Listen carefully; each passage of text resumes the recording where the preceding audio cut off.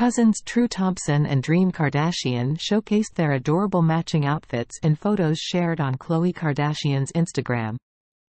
The five-year-old True and six-year-old Dream donned matching Aaliyah t-shirts, black shorts, similar sneakers, and purple backpacks customized with their names. They held hands and flashed peace signs in the driveway. Khloe shares True with her ex, Tristan Thompson, while her brother Rob Kardashian is Dream's father, from his former relationship with Blac Chyna. The close bond between Khloe and Dream has been evident, and Khloe has referred to herself as a third parent to the little one.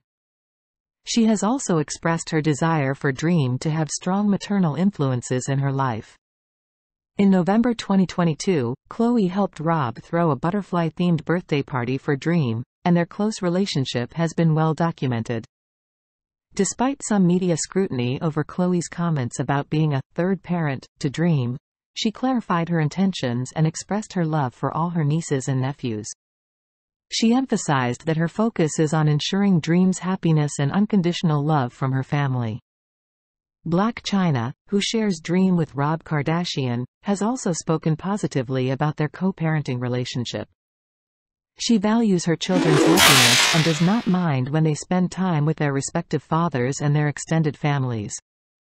Chyna and the Kardashian family had a contentious legal history, but the lawsuit she filed against them in 2017 for defamation was ultimately unsuccessful. The photos of True and Dream in matching outfits exemplify the close family ties and friendships within the Kardashian-Jenner clan, showcasing the love and care they share as cousins. Thanks for watching.